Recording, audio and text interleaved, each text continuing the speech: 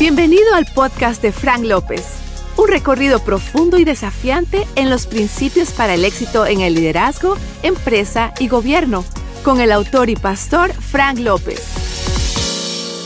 Bienvenidos al podcast de Frank López. Soy Frank López y hoy tenemos un programa muy especial. Va a ser una charla, uh, una charla de Dios, una charla del poder de Dios, de las cosas que suceden en la vida, que todos pasamos por momentos difíciles, pero también cómo Dios es fiel, y cómo Dios restaura y cómo Dios capacita a un nivel superior después que pasamos por momentos difíciles.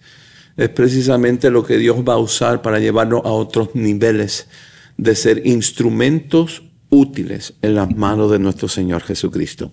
Y yo quiero darle la bienvenida a mi invitado especial, Juan Carlos Alvarado. Bienvenido, Juan Carlos. Gracias, Frank. Gracias por tenerme acá en el programa. Es un honor tenerte. Charlar. Eh, eh, charlar contigo, hablar tantas cosas contigo por tantos años. Tu música, tus canciones han tocado a tantas millones de personas. Ah, y acabamos de terminar dos servicios. Estamos grabando, precisamente hoy que estamos grabando, acabamos de terminar dos servicios donde la adoración estuvo extraordinaria, la presencia de Dios, el respaldo del Espíritu Santo y tu voz, tu voz eh, más clara que nunca. ¿Cómo te sientes? Cuéntanos qué estás haciendo. Pues mira, Frank, ha sido eh, una temporada impresionante. Quiero decir que Dios es tan fiel, tan, tan eh, perfecto, que en cada temporada de tu vida, aunque algunas son difíciles, Dios te prepara para lo que viene. Siempre cuando Dios hace algo, lo hace viendo en el futuro lo que viene. Y yo creo que este tiempo es el que más he disfrutado. Digo, estos últimos cinco, cuatro, cinco años han sido años que hemos disfrutado como familia, como matrimonio, con mi esposa Jennifer, con mis hijos, con mi nieto, que tengo ya un nieto de dos años y cuatro meses. Ah, bueno. Entonces, la, como que la vida, eh, Dios nos ha dado la oportunidad de disfrutarla a otro nivel. Por supuesto que eso se refleja también en el ministerio, lo que hacemos. Pero la garganta, la voz, el, todo lo que tiene que ver con la música es parte, es parte de lo que hacemos siempre. Y disfrutamos hacerlo. Cada vez que estamos en un lugar como tu iglesia preciosa, que, que tenía yo muchas ganas de, de conocerla. Eh, disfrutamos siempre estos tiempos, porque no solamente se trata de cantar canciones, sino se trata de tener un tiempo con el cuerpo de Cristo, lo que cada congregación está viviendo, los procesos. Y ha sido extraordinario. Estos años han sido parte de lo que Dios nos tenía preparado. ¿Cuántos hijos tienes? Cinco. Y un nietecito. Y uno, solo uno. Yo una, yo una nieta. Sí, me contaba. Somos abuelos, gloria a Dios. Ya eso es otro nivel. Eso es lo mejor, lo mejor es ser abuelo. Hablemos, hoy estás en un tiempo de victoria, hoy estás en un tiempo ah, de unidad familiar, hoy estás en un tiempo, lo he visto con mis ojos, como Dios te está usando de una manera tan preciosa, Juan Carlos. Y antes de comenzar, yo quiero darte gracias. Gracias por ser fiel al llamado. Gracias por la perseverancia de seguir en el llamado. Y gracias por ocupar ese lugar que Dios soñó para su cuerpo en este tiempo que te tocaba a ti llenar. Y a pesar de tantas cosas, lo estás ocupando. Muchas gracias. Gracias, Frank. Hablemos del el proceso de restauración. Bueno, mira, eh, son de los temas que, como compartíamos en el Congreso de Hombres que acabamos de tener también hace ayer, eh, son temas que no se hablan mucho pero creo que con los propósitos que el Espíritu Santo está hablando hoy a la iglesia, tenemos que abrirnos. Tenemos que abrirlos y tenemos que ser transparentes. Porque el estigma de que los líderes nunca fallamos, somos intocables, que somos eh, gente que, que nunca tenemos malos caracteres o malos días o qué sé yo. Eso realmente no existe. Todos somos iguales. Todos tenemos que atravesar desiertos, valles, eh, circunstancias difíciles. Y para mí fue algo tan doloroso hace ya más de 20 años más o menos. el haber atravesado un divorcio, eh, el haber atravesado un fracaso ministerial para mí, pero más que ministerial, mi vida con, con mi familia fue algo muy doloroso y un proceso que me hizo ver mis debilidades, mis, mis eh, ser vulnerable a todo lo que Dios quería hacer, que no lo había yo permitido hasta ese momento. Entonces empezar ese camino fue muy difícil porque yo le digo a mis amigos que yo no empecé de cero, sino empecé de menos 50, porque tenía todo en contra. Tenía, eh, en el momento que te sientes rechazado, eh, te sientes como que ya no sirves, ya no eres útil para mucha gente. Eh, para muchos líderes eres como que ya, ya fallaste, entonces ya no tienes lugar para, para, para, para, ministrar. Entonces nos quedamos eh, solamente el Señor y yo creyendo, que, creyendo que pudiera haber un tiempo de restauración. Y aparece en la escena gente muy clave. Uno de ellos, pues, es mi pastor, a quien yo literalmente le debo eh, la vida, porque él tuvo la paciencia, el amor y la dedicación de restaurar a la persona. Él me amó y me dijo, mira, quiero ayudarte. Creo que de no haber sido así, no lo hubiera hecho. No lo hubiera logrado, porque cuando estás en esa posición, te sientes, no solamente te sientes solo, sino realmente te, te dejan solo. Tenía muchísimos amigos y, no, no los acuso para nada. Yo entiendo que cuando hay una situación de estas es tan fuerte que muchos de ellos mejor se alejan. ¿Por qué? ¿Por qué se alejan si son tus amigos? Eh, ahí voy. Creo que la amistad no era la, amistad que tú creías. Porque la amistad verdadera, cuando viene la situación difícil, es cuando más te acercas. Exacto. Pero cuando no eres un amigo verdadero, lo que pasa es que dice, no, no quiero involucrarme porque me puedo ver mal. O sea, cuando Jesús vino, yo lo, yo quiero poner de esta forma, Jesús vino a, arriesgarse, a parecer que él andaba con pecadores. De hecho, lo criticaron todo el tiempo. Sí es. Porque él tocó a la gente con necesidad. Y no le importó el que dieran, de hecho, lo criticaron todo el tiempo creo que los que no son tus amigos desaparecen y te dejan prácticamente, eh, no solo, pero sí, quedan solamente algunos con propósito. Y afortunadamente tuve algunos de ellos que estuvieron ahí a mi lado, me dijeron, mira, Dios lo va a hacer. ¿Qué consejo tú nos das, Juan Carlos, a nosotros los pastores? Cuando sucede algo así, con una con un ministerio tan importante, yo me acuerdo, tu ministerio era pionero y era... Todas las iglesias estaban cantando tu, música, estábamos danzando tu música. O sea, siempre estábamos esperando. Llegó un momento que las iglesias esperaban que tú sacaras material nuevo para tener alabanza y adoración en su iglesia. ¿Qué, ¿Qué tú nos aconsejas a nosotros los líderes cuando pasa algo así, como pasó contigo? ¿Cuál es la reacción correcta de tomar? Lo que yo creo que debemos de, hacer como líderes, como pastores, es lo que es lo que hizo mi pastor. Por ejemplo, Vladimiro, él me buscó a mí y él me dijo, mira, voy a meterme en áreas de tu vida que necesitan ser ministradas. Él, vino a ti. Él vino a mí. él no huyó de ti. No, no, no, no. De hecho, tenía amigos pastores que prefirieron no estar involucrados. ¿Por qué? No sé. Pero yo creo que esa es una de las cosas que, que yo le aconsejaría a los ministros, a los líderes. No huyas o no quedes ausente de la situación de tu amigo, de tu líder, de tu, de tu oveja. La vara y el callado son dos instrumentos que el pastor debe usar. No son muy bonitos porque conllevan dolor, corregir el camino, pero si no usas el callado, no usas la vara, la oveja se puede morir. Pero el error como líderes es decir, no, no, no, ¿sabes qué? Te pongo en disciplina, como mucha gente hace. Sí. Pero, y, te, quedas alejado de mí dos años. Pero la disciplina restaura, Juan Carlos. Por eso te digo, yo no creo en esas cosas de que te pongo disciplina, o algunos no te dicen eso, pero te ponen la disciplina de- del hielo. Del hielo. Sí, o sea, está bien, puedes venir, pero ya no, ya no te tratan bien o te mantienen alejado. Pienso que un pastor tiene que acercarse más y meterse a la vida de la persona que está mal.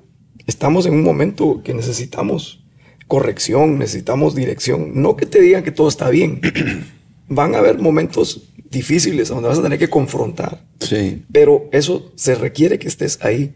Y yo le aconsejaría a todos los pastores, porque en todas las iglesias tenemos casos todos los días. Todos los días. Y yo decía, lo decía en el, en, en el Congreso, hasta que te toca a ti, o a uno de los tuyos, o uno de los que tú amas. Entonces. uno dice, ah, no, tengo que restaurar. Pero es que para eso es la iglesia. Para la iglesia, para restaurar. Exactamente. No podemos huir de aquellos que cometen un error, porque nosotros somos los primeros que podemos estar en ese lugar, o como tú decías en el Congreso, un hijo, un esposo, um, un ser amado. Entonces, yo pienso que en este podcast a mí me gustaría hacer énfasis en quitar esa, esa mentalidad, ese paradigma religioso Así es.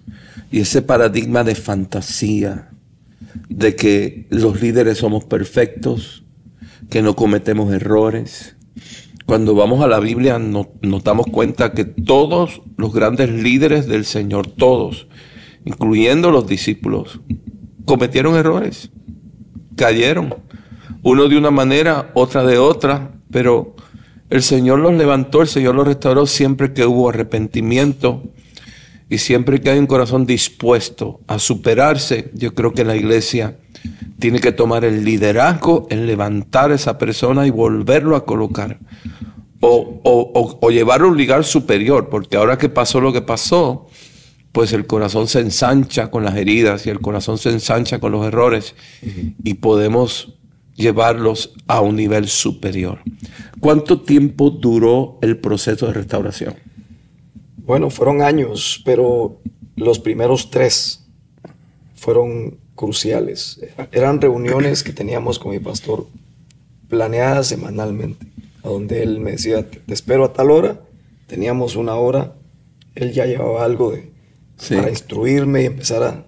Pero te digo que fue un proceso casi como, como que, que estás naciendo de nuevo, porque Ujú. ves áreas de tu vida que no es que no estaban ahí, sino que nunca habías dejado que el Espíritu Santo trabajara en ellas. ¿Tú sientes, Juan Carlos, que el, el, el- no quiero usar la palabra éxito, pero sino el, el favor, la gracia, la, la unción y el crecimiento de tu ministerio fue demasiado rápido? ¿Tú crees que eso, eso te perjudicó?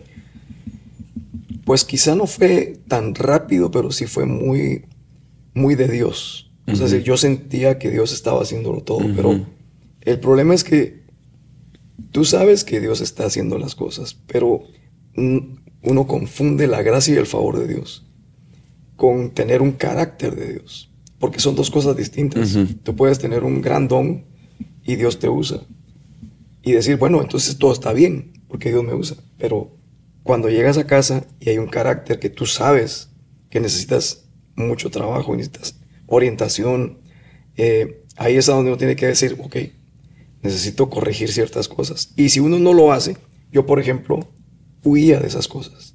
Cuando yo oía confrontación y todo, pues yo me encerraba y no pedí nunca el consejo. Que yo creo, esa es otra deficiencia, cuando ya somos líderes y tenemos cierta posición. Cuando más Es cuando más necesitamos pastoreo. Y es lo que menos pasa. Si somos honestos, cuando Dios te va levantando, son pocos los que quedan Sí, sometidos Sí. a alguien más y que, le- Yes. que les digan cosas. y eso es pero un no- error. Es un error, porque entonces no crece tu, tu carácter. Y en algún momento es cuestión de tiempo para que enfrente los problemas que eso trae a consecuencia. Entonces pienso, pienso que eso fue lo que pasó en mi vida. Y por supuesto, eh, cuando yo me di cuenta de todo lo que estaba pasando, ya había perdido muchísimo. Pasaron tres años de tú estar trabajando con tu pastor, Sí. extraordinario pastor, Sí, Vladimiro Vázquez. Vladimiro Vázquez. Me encantaría conocerlo, un hombre tremendo. A los tres años, ¿qué pasa? A los tres años, eh, mi, mi pastor me dice, mira, tienes que grabar. Bueno, yo había escrito algunas canciones que no eran de alabanza y oración. Eran canciones que yo, de las que yo estaba viviendo, como por ejemplo, eh, Fui yo quien te llamé, Amigo, aquí estoy. Ajá. Eh, can- eh, canciones que no eran de alabanza, pero eran de un proceso. Y cuando el pastor me las oía cantar en el piano, en alguna reunión chiquita, porque yo no estaba ministrando en público, él me decía, tienes que grabar eso, tienes que ponerlo. Él te estaba yo- empujando otra vez. y yo le decía, no, no, no, no, no, esas canciones no son lo que yo hago. Pero, pero esas canciones son las que la gente necesita escuchar. Porque es un mensaje que si bien es cierto, se toca, se toca muy por encima. Y como que le huimos, Frank, a esos temas. No, no, no, yo no quiero hablar de eso. Quiero hablar de victoria, Ajá. de poder, de qué sé yo. Pero cuando hablamos de restauración es como un tema complicado. Eh, y hay canciones ahí que hablan de eso, de la restauración, de la oportunidad de Dios, que Él, Él es el que te llamó y aunque te hayas equivocado y hayas pecado, Dios te puede levantar. Eh, De eso hablaban las canciones. Entonces, le hago caso a mi pastor, grabo ese disco y me doy cuenta que el feedback que yo recibo de la gente de ese disco es mayor que todos los discos que yo hice, incluidos los de Palabra en Acción Mm, la gente empezó a escribir y me llamaba la atención que los emails, porque empezaba el email en aquel tiempo, llegaban y decían, hermano, esto no lo sabe nadie. De hecho, esto no se lo puedo contar a mi pastor porque me votan. Pero esto es lo que yo estoy pasando. Y me llegaban las cosas que yo decía, Dios mío, callamos porque tenemos miedo. Porque si yo abro mi corazón, lo que va a pasar es que me van a quitar la cabeza. claro. Entonces no tenemos el ambiente de confianza para poder llegar con el pastor y decir, pastor, ¿sabes qué? Tengo problemas con esto. De abrir tu corazón, porque muchos pastores quizá no tienen el corazón de pastor, Ujú. Sino son líderes extraordinarios. Que están pero, protegiendo. pero si fallas, le fallaste a ellos. Sí.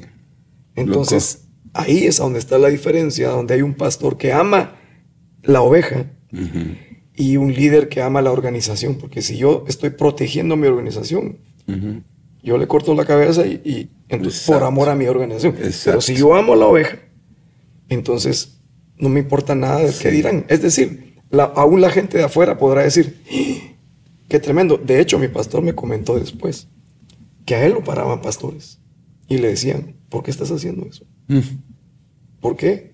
Qué. Déjalo que él, imagínate, o sea, eh, queriendo como desanimarlo a él por la, hor- la hora que él se había metido en el, en, el, met- en el buen sentido de la palabra, él había tomado esa iniciativa porque Dios le había hablado. Y otra cosa es que él me dijo, yo, yo lo voy a hacer porque hace muy poquito yo pasé una experiencia con mi hijo, me dijo el pastor. Se había identificado. Y él se identificó. Su hijo es amigo mío, tiene mi misma edad y le había pasado algo muy, muy similar. Entonces él dijo, yo lo voy a hacer. Y gloria al Señor que lo hizo, porque mira, yo vivo agradecido con Dios y con mi pastor, porque tenemos, creo yo, la iglesia necesita más pastores. Sí. Más pastores Sí. con el corazón de Jesús, porque Jesús Amén. a eso vino. Y todos lo sabemos, todos leemos las, la- la- las, las cartas, los evangelios, y sabemos que Jesús vino a restaurar al herido, a levantar al caído. Lo predicamos, predicamos de misericordia, de perdón, pero cuando alguien falla, no sé qué pasa. Como que, Lo esconden. sí, Porque la iglesia como que por proteger la institución se disfrazan de una fantasía porque la iglesia está llena de gente imperfectas. I mean, si no hubiera imperfección, no hubiera iglesia. por supuesto. La única razón que existe la iglesia de Jesucristo es por los pecadores. Si no hubiera pecadores, cerramos y no hace falta iglesia. Y sabes una cosa, Juan Carlos, cuando vemos las estadísticas de las nuevas generaciones, tus hijos y ese nietecito lindo que Dios te dio, ellos vienen con un corazón que van a responder a la transparencia. pero vienen con un discernimiento que van a reconocer un disfraz. Así es. Por eso desde el altar, desde el púlpito, yo lo hago en mi iglesia. Yo siempre digo lo bueno, lo malo, lo que hice bien, lo que hice mal. Cuando un pastor nuestro como, o, un, un líder o una simple oveja, pues está pasando un momento difícil, haya sido culpa de esa oveja o no, nosotros, el equipo pastoral, tiene que reaccionar. Tiene que reaccionar. No nos alejamos del que cae, nos acercamos del que cae, con el corazón de Jesús para restaurar, para sanar. Y sobre todo cuando hay alguien que está dispuesto, cuando hay alguien que dice, ayúdame, cuando hay alguien que está abriendo ayuda, es una extraordinaria oportunidad para mostrar la gloria y el poder y la misericordia de nuestro Señor Jesús. Síguenos en nuestras redes sociales como Frank López JWC y encuéntranos en iglesiajwc.org.